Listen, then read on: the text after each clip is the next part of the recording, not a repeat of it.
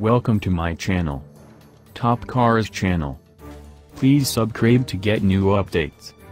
Nissan Leaf 2018 After an agonizing trickle of details and teasers, Nissan has finally pulled the wraps off the next generation of the world's best-selling EV nameplate, the Leaf. But a lot has changed since the original launched in 2010.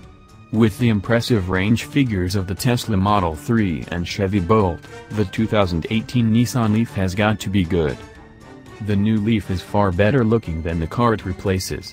It's sleeker, with a more planted stance, futuristic but more mainstream. Its floating roof projects lightness, and its swept-back shape gives a sense of motion. The new Leaf is about 0.4 inch lower in overall height, 0.8 inch wider and 1.2 inches longer, but it appears even lower, wider and longer than that.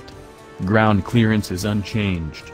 Nissan's designers told us they would have liked to have lowered the car and put bigger wheels on it, but they made all the spatial changes they could without making it too heavy or costly.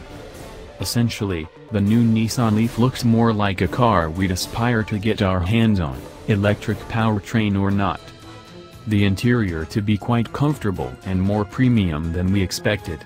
The cars we sampled had high-quality materials such as perforated leather seats with microfiber inserts and blue accent stitching. The sense of width played nicely in the cabin, and the front seats felt spacious for such a small vehicle. Even the rear seats were comfortable, with a good amount of legroom for a 6-foot-tall passenger behind a similarly sized driver.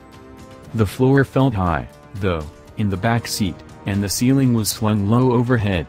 Still, we wouldn't feel guilty putting two adults or three children back there for a couple of hours.